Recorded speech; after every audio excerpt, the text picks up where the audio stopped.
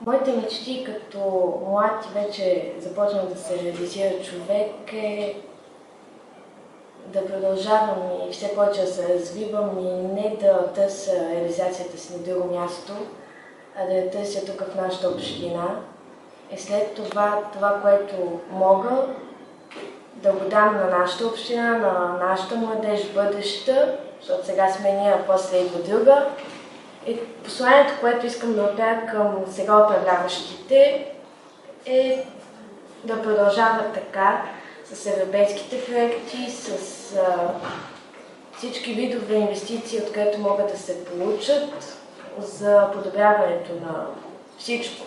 Инфраструктура, образование, финансиране и всички видове проекти.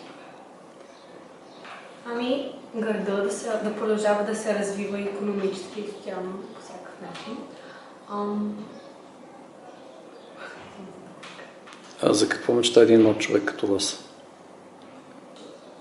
Може би да завърши успешно, да се дипломира.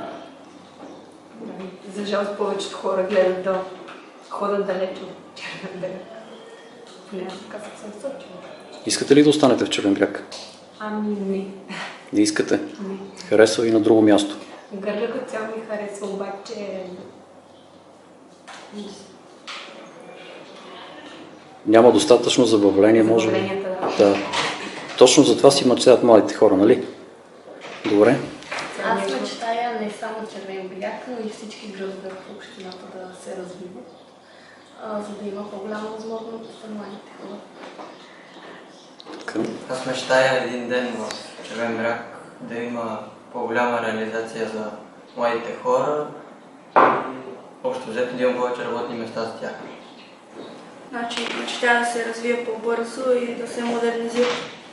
Както всички казаха до сега, важно е за младите да се, да се прави по-добро, да се привличат дори, защото всички бягаме от града. Стават все по-малко и по-малко хора. Предполагам, че искате да има движение, да идват други млади хора тук, да имате срещи с тях. Добре? А, мечта и по-скоро и надежда е да в нашия град има едно висше учебно заведение, в което ще, се, ще стане по-голям град и ще има повече население. А, аз съвет към управляващите да продължават същия дух и да гледат напред. Добре. Аз лично като за начало мечтая да завърша успешно основно средното си образование. След това мисля да се реализирам в сферата на специалните части. Това е лично моя мечта от малък. А доколкото за общината, община Червенряк, искам да кажа, че до момента добре се развива, да продължава в същия дух. Както моят колега каза, няма да е лошо да се, да се направи едно висше училище. И да, горе-долу това. Добре. И вие, млади господине? Аз бих искал не само специално за общината, но и в България да има повече заводи, повече фабрики за повече работни места за младите и да не бягат от България и да стоят тук. И слушаме самия господин кмет сега.